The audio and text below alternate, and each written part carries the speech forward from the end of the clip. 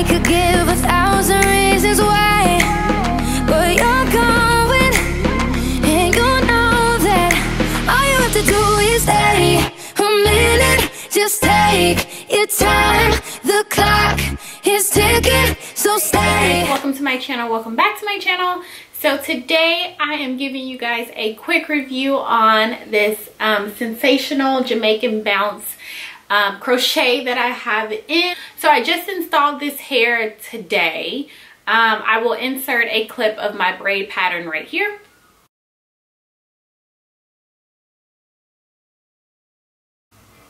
Okay, so you guys saw my braid pattern. Very simple, very easy. The only thing I did different this time was I left um, a little bit more hair out in the front. All I did was just leave the perimeter of my front out. I left about an inch, I would actually say maybe an inch or maybe three quarters of an inch right up here in the front um just so i could maybe pull it back up into like half up half down and the knots would be covered right here in the front. So also i did a middle part with this hair and i can also do a side part as well. So i've got about three styles and possibly four if i wear it all up in a bun or ponytail with maybe like a head wrap or something like that. So i've got four possible styles with this hair and so far i am loving it so this is how the hair looks right out of the package. It comes in just a little small pack and I use three of these.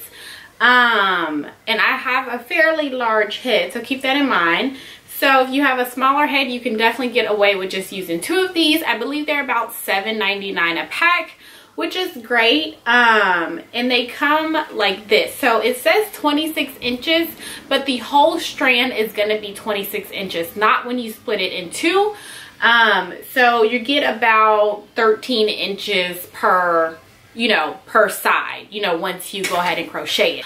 All right so a couple tips um that i do have in order for your hair to look as natural as possible I don't even have a couple. I have like one. um, I do personally, I do not like, it's a lot of clapping going on today.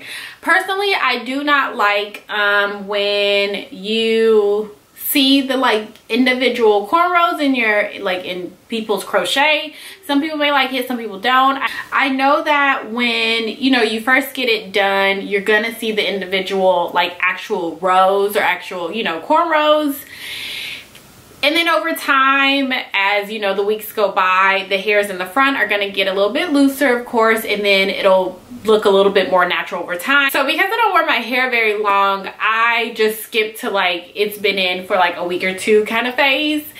And in order for me to do that, I, no matter if I leave the front out or whatever, I pretty much always have like my baby hair out plus a little more like plus a little extra. So the tip that i have for you is very simple.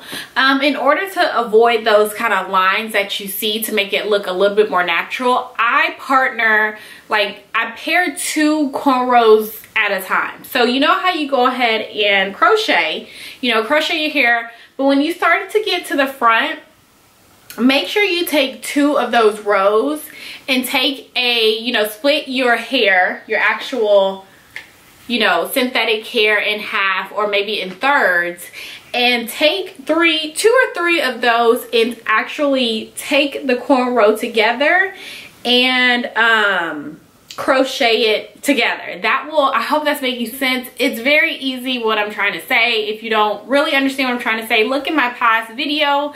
I'm just really just taking a strand of hair, two cornrows, pinching them together and closing that like little gap that you'll see. What it'll do is it'll end up closing the gap so people won't be able to like see your scalp straight away and know that you have crochet in your hair. They'll just see hair if that's making sense at all. So that's all I really do. That's what I did to the front of my hair except for this part right here that I'm going to show you guys. And this is I purposely left it just so you'll be able to see. But when I wear my hair like this, you'll see that I have some spaces in here. And those are actually two different cornrows um, that I'm to go ahead and take a strand of hair and make the knot end up being right here where my scalp is. So I hope I am explaining that very well. Um, I don't really know how else to explain it because I think it's pretty simple. Okay, so a, another reason why I'm really liking this hair is because it's very forgiving. So if you um, are leaving a little bit more of your hair out when you are doing like a vixen or you're just leaving more hair out period just because you want to it will definitely be able to blend without you doing anything to your actual hair so your actual leave out i have not done anything to um the front of my hair except for it wasn't a flat twist while I was putting in the crochet and I just undid it and just left it as is and I went to the store and I went to um, the post office or whatever and I was very comfortable. I wasn't like oh my gosh was somebody looking at me? Do they know it's not my hair? You know how you kind of feel that way when you are you know when you're wearing fake hair you're like Ugh. that's why I'm so like I really want, no matter what I'm wearing, no matter what style I'm wearing, I want my hair to look natural. I don't want people to just be like, even though, yes, you shouldn't care about people's opinion, whatever. Um, I don't want people to just automatically know it ain't my hair. And I think this hair, the Jamaican Bounce, is definitely um, hair that you can fool people into thinking that is yours. So, yes uh, let me just tell you how I installed the hair. It's very easy. In the back, all I did was keep the hair just like this. I did not do any separating in the back up to about half of my head. Once I got halfway done on my head, I went and separated those curls just to see how full it is. I have the tendency to add too much hair and it end up being like just a mess. So this time I wanted to do something different and actually kind of see what I was working with while I was working, if that makes sense. So I went on ahead and separated the back of my head while I was working towards the front. Once I got about, um, so dealing with the front half of my hair, I started to split it in twos and threes. Of course, the front, the very front of my hair, the very front of my head, I split it in um, threes and I worked with smaller pieces. And then towards the middle, I kind of just split it in two. Go ahead and get into how many styles I can come up with with this hair.